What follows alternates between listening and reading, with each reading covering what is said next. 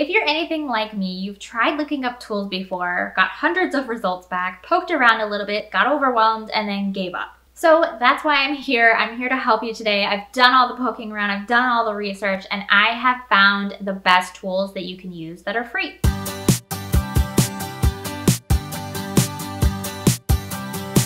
If you're new here, hi, I'm Shanté. I am a freelance social media manager that runs my own agency, have been doing so for four years, and I help other freelancers do the same thing. Disclaimer before we get started, the majority of these softwares that I'm going to mention today do have a paid plan that you can upgrade to, but they do have a base level plan that is workable if you're just getting started. Eventually, you'll probably want to convert to a paid plan as you grow, but if you're just getting started, we want to keep our operating expenses as low as possible and you can't beat free. There are three different aspects of managing a social media account that you would need tools for. They are client project management, content creation, and content scheduling. This is your all-in-one place to store everything you need for your client projects.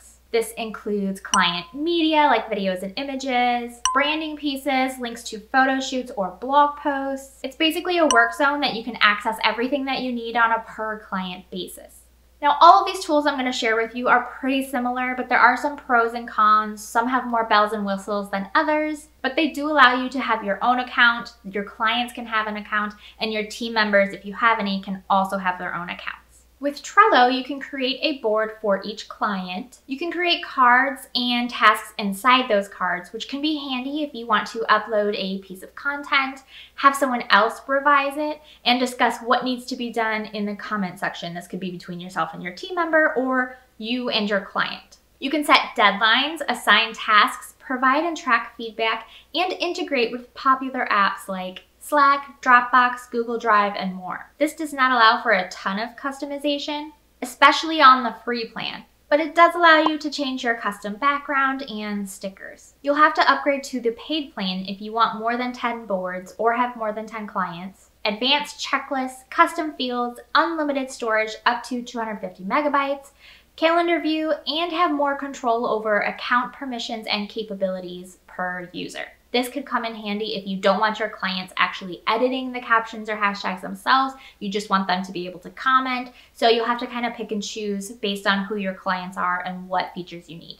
Asana is fairly similar to Trello, but the way that the information is presented to a client might be better because it allows you to have a project overview page where you can leave notes, track important deadlines, link to files, and more. Unlike Trello, Asana's free plan allows you to add up to 15 teammates and gives you access to list view, board view, and calendar view. While you would need to upgrade to a paid plan to get things like custom fields, forms, and templates, it would be a software that an individual could use for a long time and use to grow a team. ClickUp is similar to both Asana and Trello, but it has a lot more bells and whistles. In their free plan, you get whiteboards, real-time chat features, in-app video recording, and collaborative docs. It's like a, its own Google Doc, but hosted in ClickUp, so it's an all-in-one place. You can have up to 400 folders and 100 lists, which is more than enough to keep up with any clients that you have. You also get to customize the board views in the free plan. What I love about ClickUp is that it allows you to have custom fields with up to 100 uses. You can embed spreadsheets, YouTube videos, and more, and it also allows you to have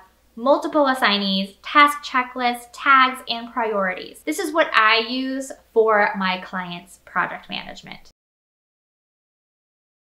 Now for content creation, there are some that we know and love, and then there are others that are a little less popular. Canva is my favorite and my go-to because of the variety of choices and features it has. They're always adding new things, but it is one of the most popular software, so you kind of have to really customize your design so it doesn't end up looking like everyone else's. Canva is women-owned and an industry favorite for a good reason. Canva lets you cut, trim, splice videos, add text, add audio with with a variety of animation and decoration themes, including curved text. They have a built-in photo editor, image cropper, and has so many stock design options from videos, photos, graphics, and animated GIFs. With the free plan, you get their drag and drop editor, over 250,000 free templates, 1 million free photos and graphics, the ability to invite others to design and work on your files, and a whole lot more. While I do suggest upgrading to the Pro plan because of all of the amazing features, and you'll get access to their 100 million plus stock photos, videos, and audio files, plus graphics, you can definitely get by with the free plan. Canva also allows you to integrate with Google Drive, Giphy, and more. Plus they have a built-in post scheduler, although I've never used it, so I can't vouch for how reliable it is, but it is an option. Adobe Express isn't as popular as Canva, which means their designs and templates may be a little bit more unique than what you're typically used to seeing.